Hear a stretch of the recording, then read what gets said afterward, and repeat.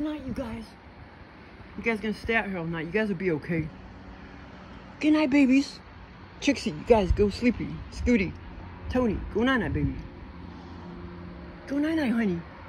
I'll feed you guys tomorrow. You go night night.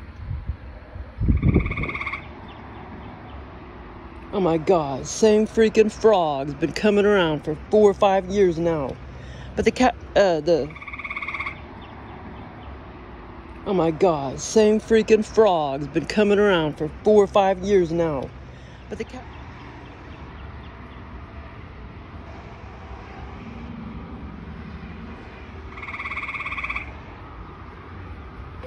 Hey, you better not find that frog. Kick your ass, Tango. This same freaking frog's been coming around for four or five years now, but the past couple years, I don't remember seeing the little fella for about the last couple years. That same damn frog. I'm so glad you survived all these years, little feller.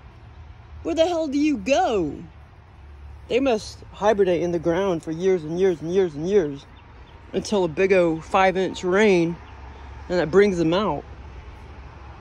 But today isn't exactly a warm, warm, warm day, so I'm still kind of surprised that it's out and active. It's like 60 something out here. What you doing, little froggy? Same freaking frog, I know it is. Been living in my yard for like five years. Tango! You better not catch that frog.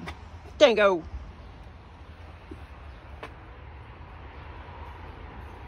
Um, but he, he's kind of small, so he's kind of hard to find. Well, but you know, a cat can smell it. But he's up there somewhere.